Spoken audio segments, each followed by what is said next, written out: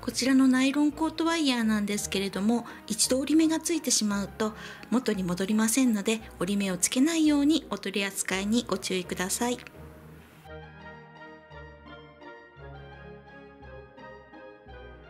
マスキングテープをこのように両方折り返してビーズが落ちないようにナイロンコートワイヤーの片端にこのように留めておきます。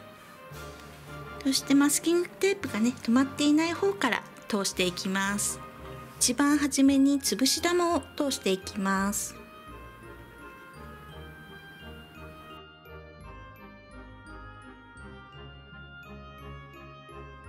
次に特徴ビーズを6個通します。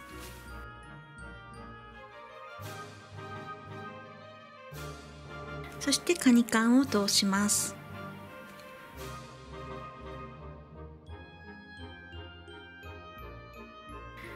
そしてまた特小ビーズを6個通します。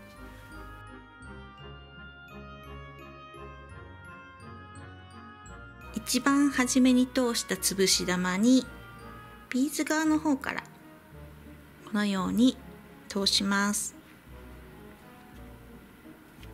そしてちょっと引っ張ってこのように詰めていきます。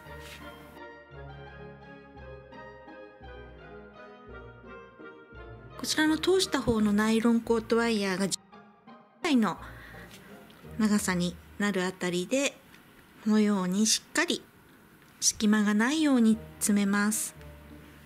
そして潰し玉を平やっとこで潰していきます。裏返してまた押さえときます。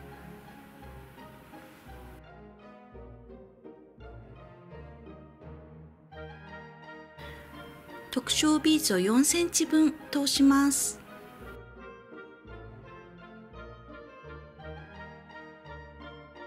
こちらにずっと通してきまして先ほどの潰し玉をね通した方のこちらの先端に通していきます、はい、通りましたらずっと詰めてこちらに寄せておきます。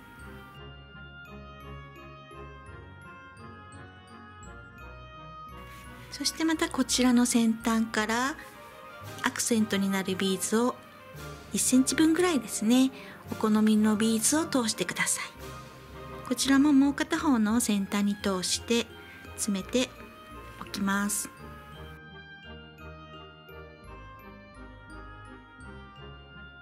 次は2.5センチ分特徴ビーズを通します。そして同様にこちらのもう片方の先端から通して詰めておきます。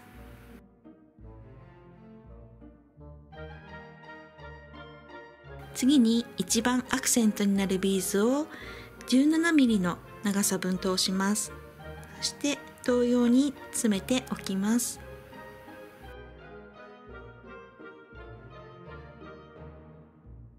特小ビーズを2.5センチ分通してまた詰めておきます。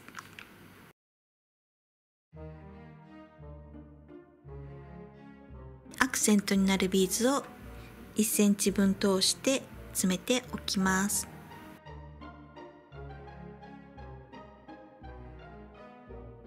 次に特小ビーズを11センチ分通して詰めておきます。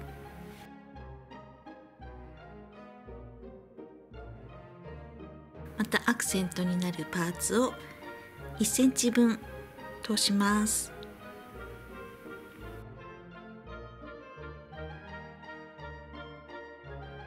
次に特小ビーズを27.5センチ分通します。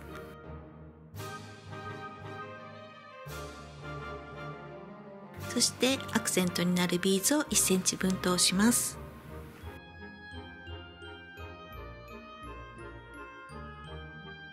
特小ビーズを11センチ分通します。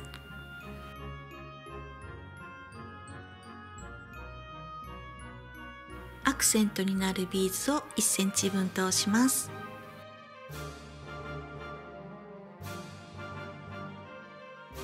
特小ビーズを2.5センチ分通します。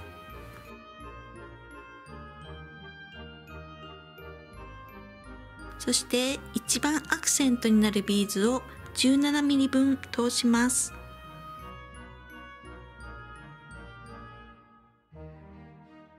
特徴ビーズを2.5センチ分通します。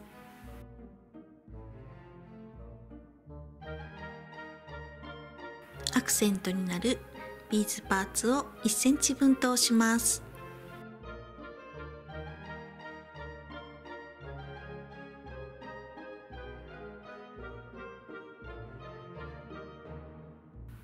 次に潰し玉を1個通します。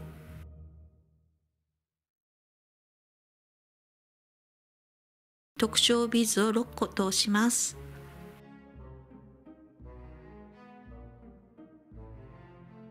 カニカンを通します。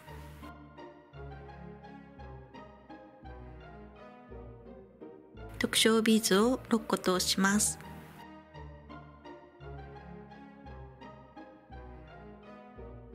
端から隙間がないようにしっかりこう今一度詰めていきます。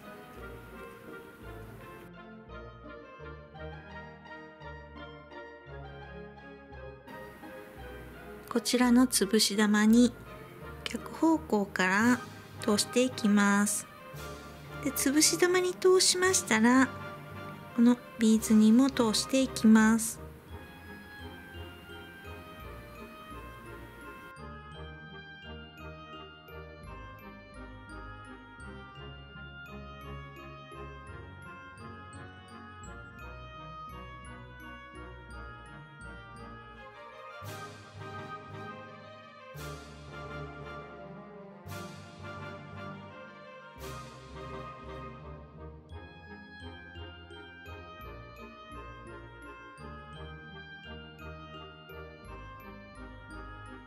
どのぐらい折り返して通していくかと言いますとナイロンコートワイヤーが8センチぐらいですね。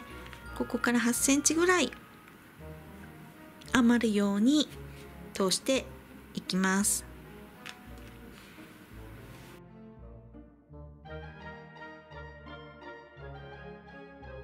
今一度隙間がないようにちょっとこうねしっかり詰めてきます。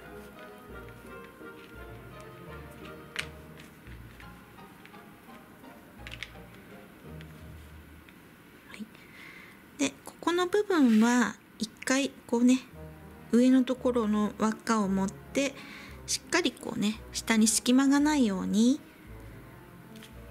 引っ張っといてそれからですねこうテーブルに置いてこの8センチの方を引っ張ります。こんな感じで。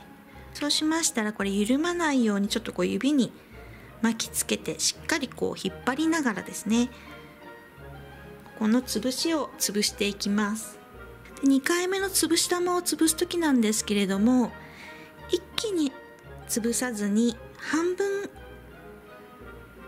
こうね潰す感じでそしたら裏返してもう半分潰す。でまた裏返して再度優しく押さえて。でまた裏返して半分潰すっていう風にしていきます。この時にここのナイロンコートアイをしっかり引っ張りながら潰すのが緩まないポイントです。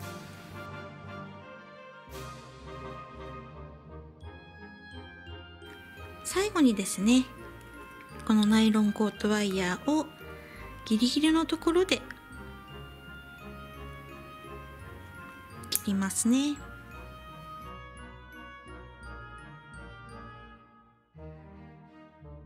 これでマスクチェーンの完成です。お食事の時や車の中などねちょっとマスクを外しておきたい時はこのように2つ折りにしてクリップで留めておくとおすすめです。